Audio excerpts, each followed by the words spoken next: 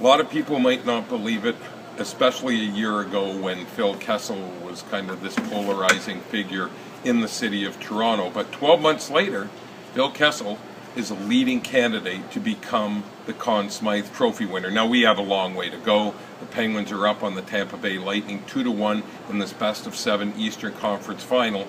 But when you listen to Jim Rutherford, the GM of the Pittsburgh Penguins talk, he says that when he made the trade with the Toronto Maple Leafs to bring in Phil Kessel last summer, there was never any kind of risk in his own mind.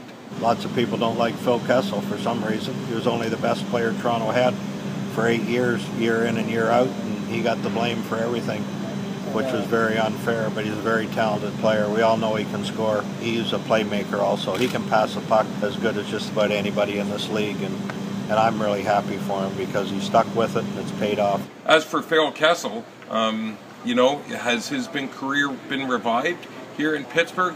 He's not sure about that, but what he does say is that he is in a place where he really fits in you know, obviously, uh, you know, he traded for me, and uh, you know, I'm happy to be here. Um, never been this far, so it's uh, you know, it's a great experience. The Kessel, Nick Bonino, Carl Hagelin line arguably has been the Penguins' best in these playoffs, and you know, it's a trio that six months ago you wouldn't have thought was together, but right now they're the ones that are helping lead the Pittsburgh Penguins to within two victories of going to a Stanley Cup final.